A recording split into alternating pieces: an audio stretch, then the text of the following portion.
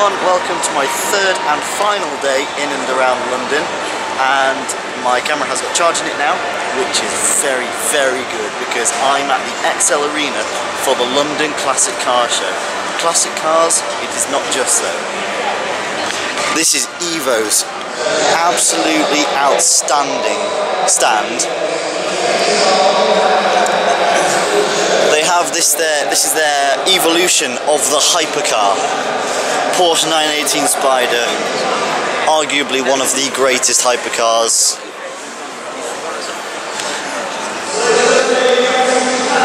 Bugatti Veyron W16 quad turbo this is my third Veyron now in three days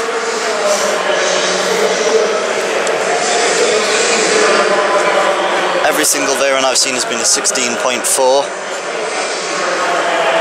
Arguably the first hypercar. Going back into the 90s. I'm not a fan of the green, but it's it's alright.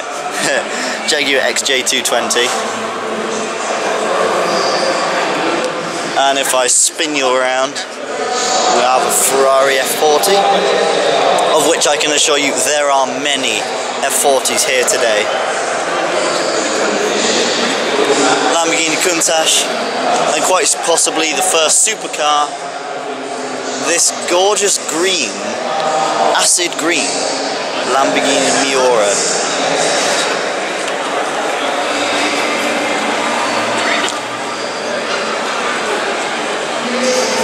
It's from it's here on loan from Joe Macari Performance Cars. They actually have a stand here as well, and I promise you that stand will not let me down.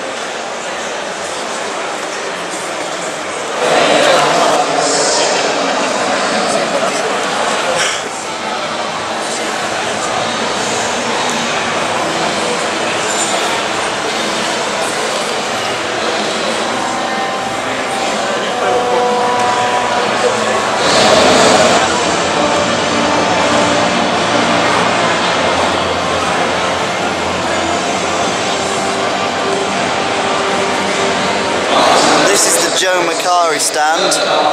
They're a very, very reputable dealership in West London. So they can't afford to let people down either. So they brought the only full carbon bodied Enzo in the world.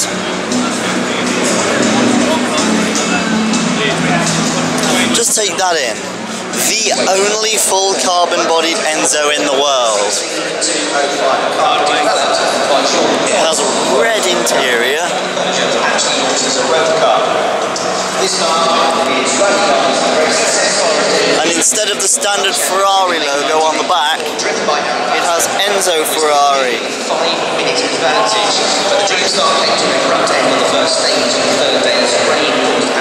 As well as that F40, but you know, meh, that's alright. But look at this, has a purple engine cover. Also they have Ferrari 512BB and opposite them is this Ford GT40 Le Mans. So yeah.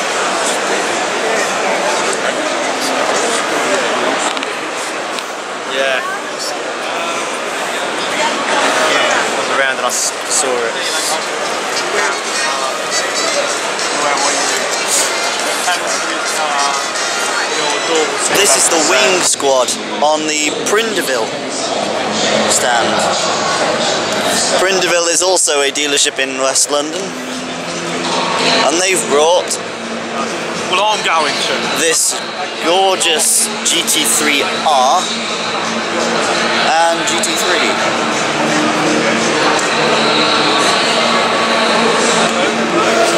with Prindiville's infamous all decked out carbon G-Wagon. Is quite a car.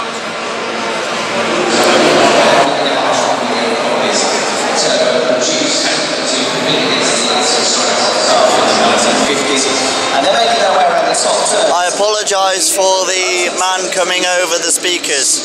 This is Aston Martin's official stand. Obviously, Aston Martin's official stand has to be the best stand. So they brought a 177. production line the Citroen 2CV, the Deux Chevaux, which was produced for 40 years and sold nearly four This is the first one I've seen ever. But it's the first one I've seen even in pictures with those wheels. Which I like. I like those wheels. Making its way down the road. Also, Aston Martin brought this DB5. I think it's a DB5. Which was developed with rallying in mind. And some th those as well, whatever they are. So ladies and gentlemen, have it France and Team Japan. If you believe that the French are the greatest the car nations, text us now 82055. If you believe it's Japan, text us 82055 and let's have one more warm round of applause for all the drivers and their cars in this parade. We will be back on.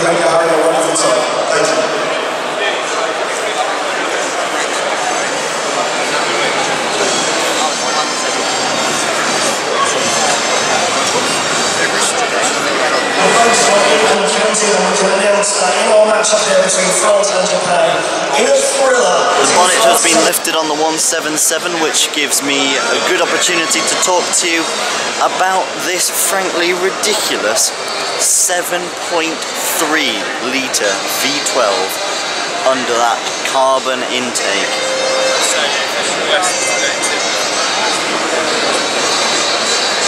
7.3 litres produces, I think it's 750 brake horsepower, somewhere in that region.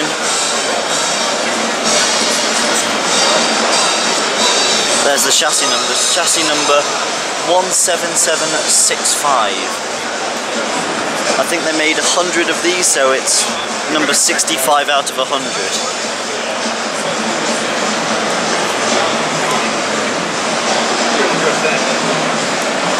aluminium foil obviously underneath the bonnet to aid cooling in the engine and all 177s made a left-hand drive. This here is another pretty little thing on the Aston Martin stand. It's a DB it's a DB3S racing car. That music's got very loud all of a sudden. This is very nice, this Aston.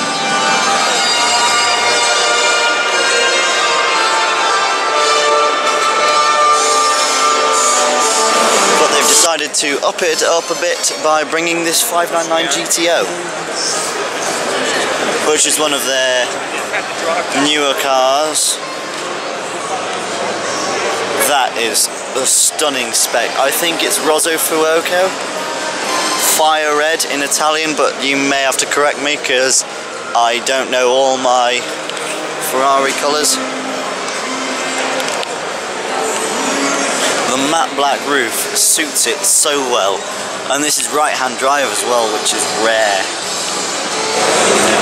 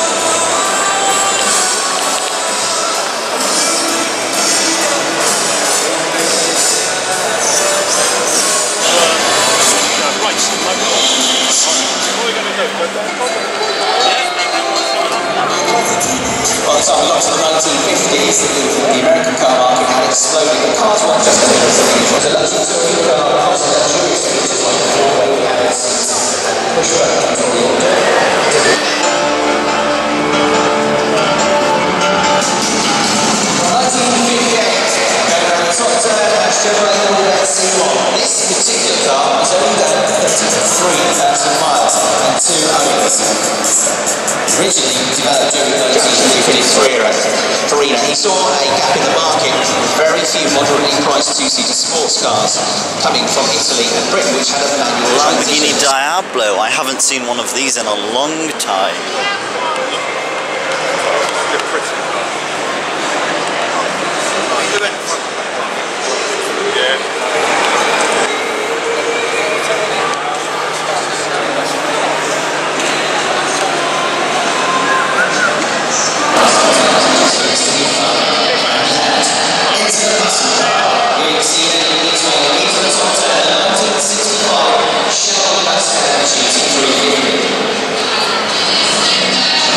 Here is some familiar familiarity, if I can speak right, familiarity for me.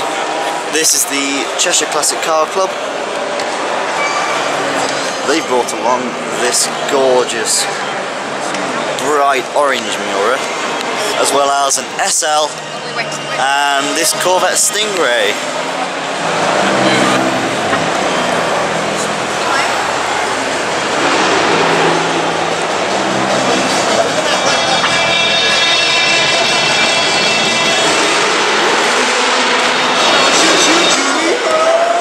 This here is a McLaren F1 GTR in Harrods livery, but this is not a long tail.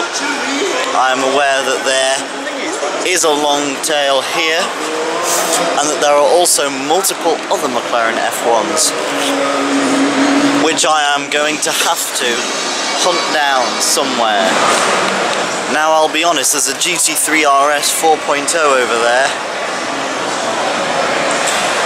I was obsessing over that and I completely didn't realise there was a LaFerrari here.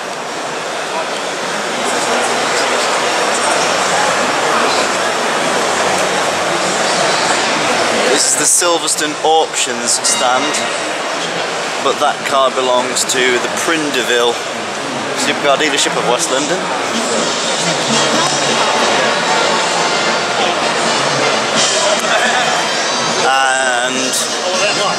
Um, well, yeah.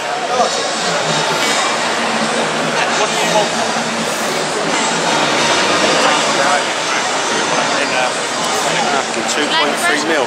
Sure, thanks.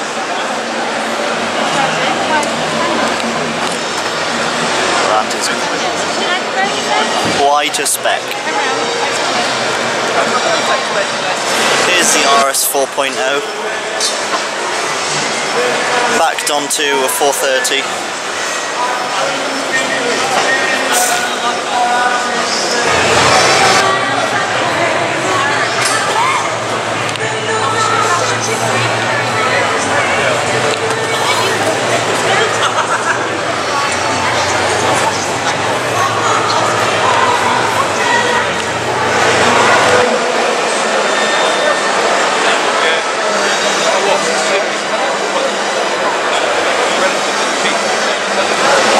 This car is very shiny and it's for sale, not for auction, for 2.394 million pounds. Wow. That is a lot of money. There's Countach there as well.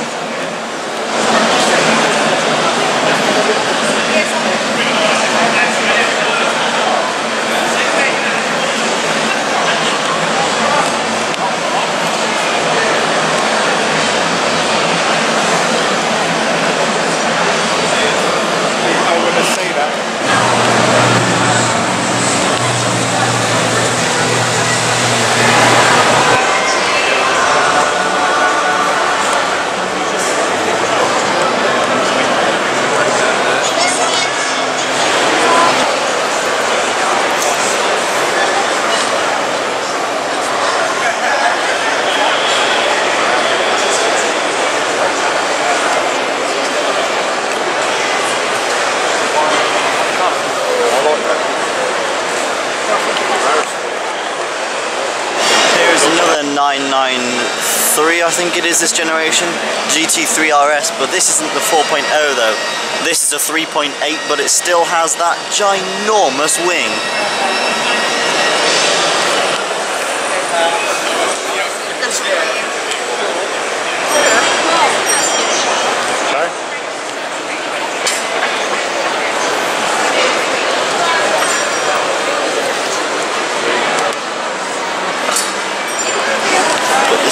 This the queue. The queue goes right the way around this building and it nearly goes outside. It's a huge queue.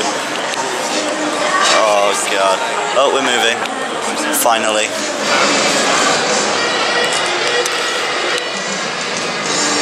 This is one of the first McLarens. This is XP3. If you know your McLarens, then you'll know XP means experimental prototype. And this is number three, this is the third one.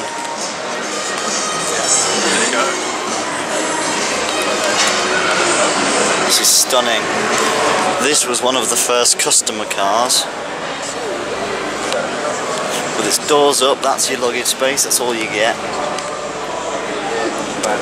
Gordon Murray designed it with a three seat layout with a driver at the front and two passengers either side and with a gold lined engine bay as well which is designed to aid in cooling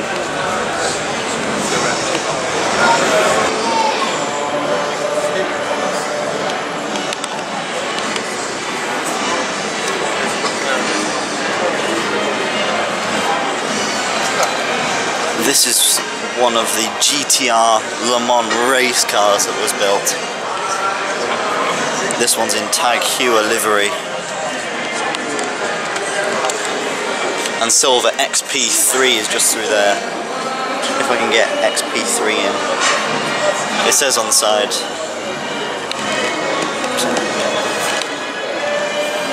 The GTR race cars only had one seat in the centre though. They didn't have three seats like the road cars.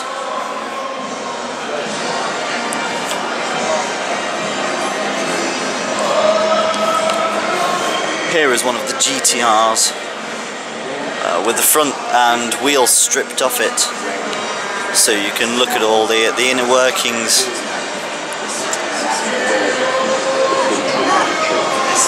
This GTR does have the extra seats, so obviously whoever has bought it has spec'd them in so that he can race. Oh no, it's just one extra seat to the left of the driver.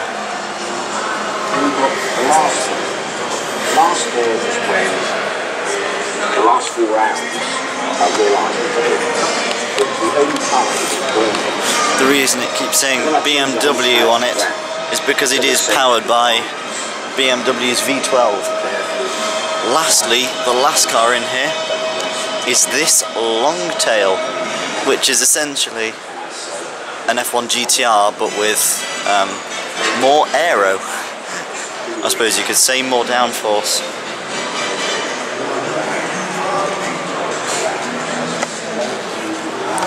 Obviously it's so called because its tail is longer than the one on the standard GTR, such as that one.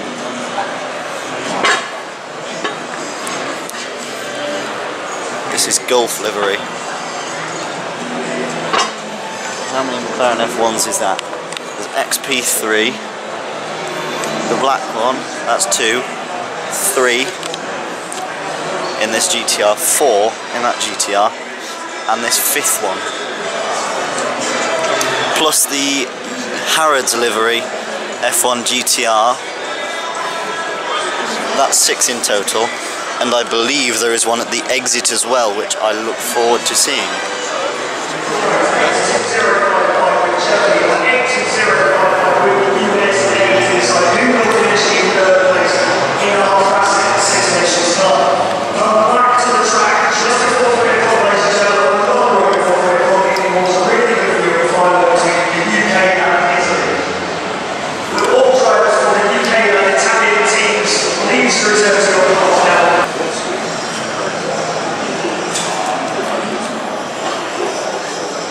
This here is the Noble stand where they've brought along this gorgeous deep red carbon Noble M600 Carbon Sport.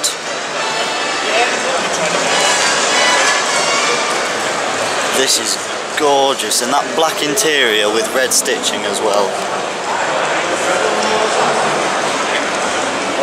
That is gorgeous.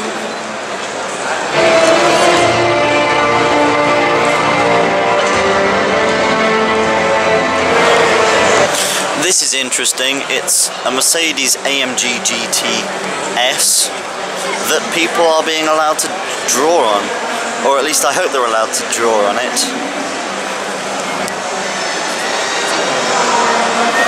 I can see some big names on here. TFJJ being highlighted there. And the luxurious cars I can see. Shout out to those two. And anyone else, if I can find anyone else's um, signature on here.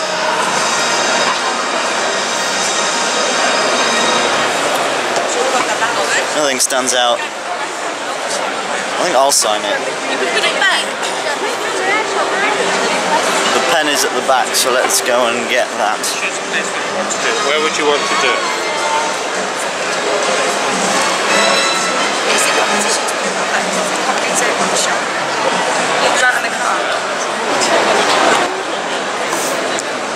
Let's go down there, I think. Uh.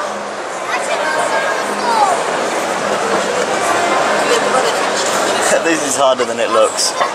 Car. Videogra. Writing over someone else's. I didn't just manage to fit it all on the door. Oh well.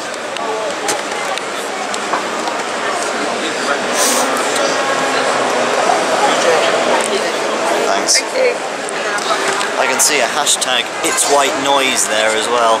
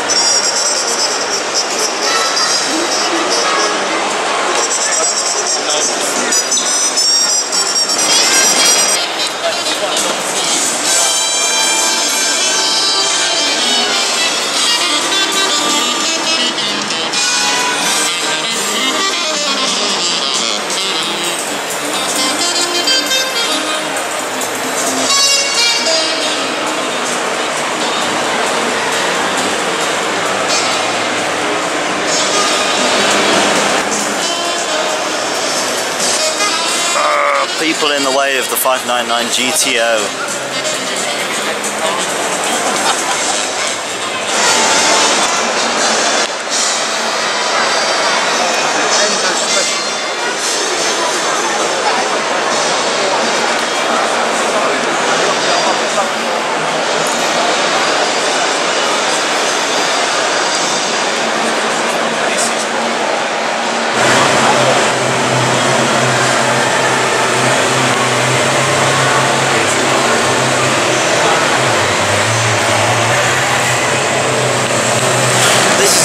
12 Scaglietti, a car which I have very mixed feelings for.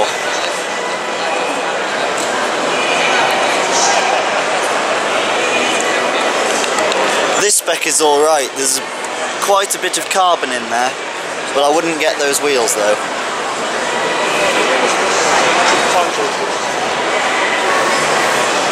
I believe this blue Bugatti is a Type 35, I think.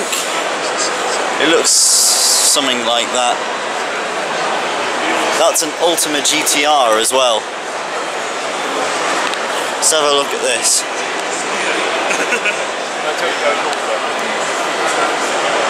This is the Chevrolet Corvette owner's stand. And of course they brought a brand new Stingray along with them because that's what you do when you have a car club and extra space on your stand.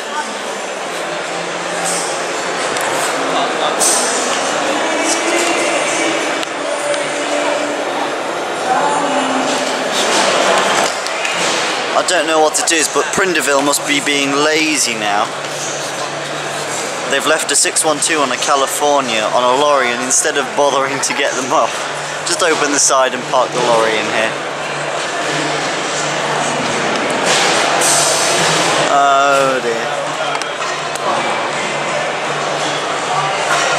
575 here. I think it's a 575. Yeah, 575. Um, blacked out Challenger Hellcat. That's nice. As well as the UK's Marcos Owners Club. Marcos being a very small British sports car manufacturer, they didn't last long. But this was probably one of their greatest hits. I can't even remember what this what this is called. It'll come back to me.